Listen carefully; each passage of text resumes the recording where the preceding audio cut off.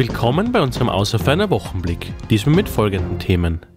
Neue Buslinie zum Plansee gestartet, Bär im Lechtal gesichtet und wichtiger Sieg für den SV Reute.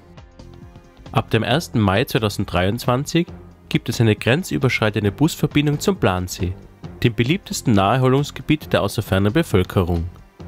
Die neue Linie von Reute nach Oberau erschließt den Plansee und die Berge rund um das Graswangtal und ermöglicht vielfältige Wanderungen durch das Ammergebirge.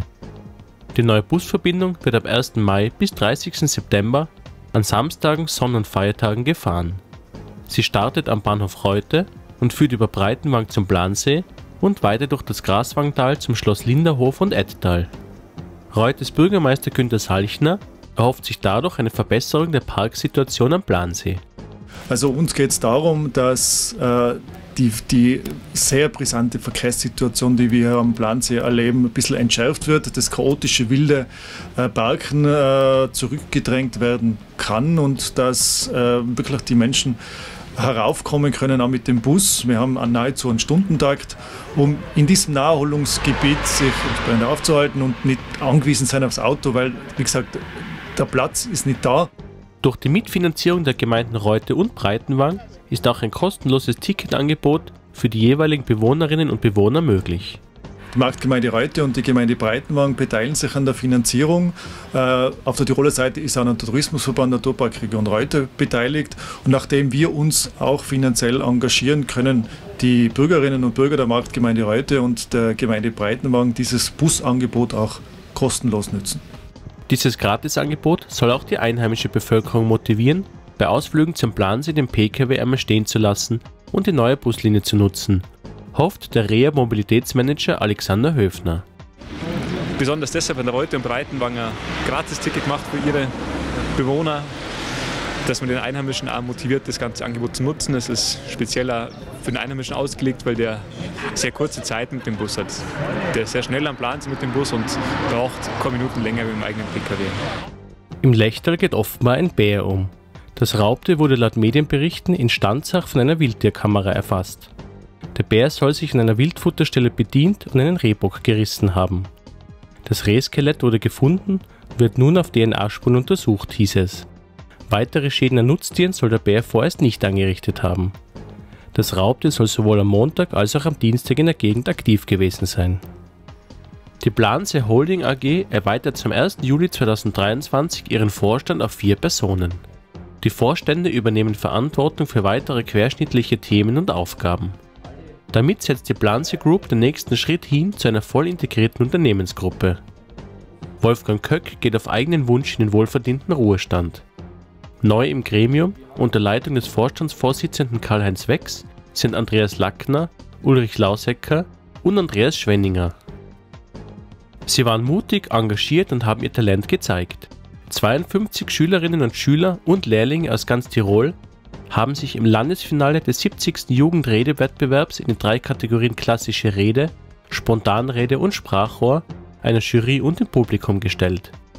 Das Themenspektrum war weit gestreut und reichte von der Teuerung, aktuellen Diskussionen um das Gendern, Suizidprävention, Mobbing und Ausgrenzung bei Jugendlichen über Kleinwüchsigkeit, Ungerechtigkeit auf der Welt und Hass im Netz bis zu gesunder Ernährung, Barrierefreiheit und persönliche Einstellungen am Prüfstand des Lebens.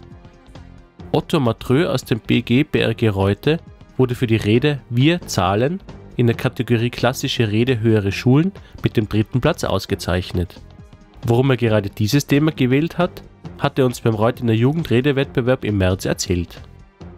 Ähm, ich finde, es ist ein Thema, das uns Jugendliche gerade in den letzten Jahren wirklich mitbe mitbegleitet und das war eigentlich ausschlaggebend, damit, dass ich das Thema gewählt habe. Also wie man sieht, äh, vielleicht auf dem Sitzen jetzt nicht so ganz sieht, aber ich bin ähm, ziemlich groß. Äh, das war auch ein Punkt, wo ich gesagt habe, das ist einfach, ich ein Erlebnis bei der Schule ausgemacht, das mich als zwölfjähriger Junge bisschen geprägt hat, würde ich sagen, oder mich zum Nachdenken angeregt hat und das hat auch mit meiner Körpergröße, mit Zahlen verbunden. Ähm, das ist ein persönliches Ereignis, Erlebnis. Weiter aus dem Bezirk Reute wurden ausgezeichnet Platz 2 für Tabea Wacher, ebenfalls vom BG BRG Reute für die Rede Generation Weltbewusstsein in der Kategorie Sprachrohr und Emma Thunherr von der Fachschule für Kunsthandwerk und Design Elbingalb mit der Rede Kleinwüchsige haben es schwieriger im Leben in der Kategorie Klassische Rede mittlere Schulen. In den Tunnelanlagen im Landesstraßennetz starten die jährlichen Reinigungs- und Wartungsarbeiten. 52 Tunnels, Unterflurtrassen und Galerien werden diesen Frühling technisch geprüft und gründlich gesäubert, um die Sicherheit weiterhin zu gewährleisten. Ein Großteil der Reinigungsaktionen findet im April und Mai statt. Der tirolweite Tunnel-Frühjahrsputz wird Anfang Juli abgeschlossen sein. Im Zuge der Tunnelreinigung werden zahlreiche Arbeiten erledigt. Belag und Wände werden gekehrt und gewaschen, sowie Verkehrszeichen und Notrufzellen gereinigt. Darüber hinaus werden Gewässerschutzanlagen, Feuerlöscher oder die Sensoren für die Luftgütermessung sowie Video- und Lautsprecheranlagen auf ihre Funktion hin überprüft. Die Tunnelreinigungen im Bezirk Reute finden wie folgt statt.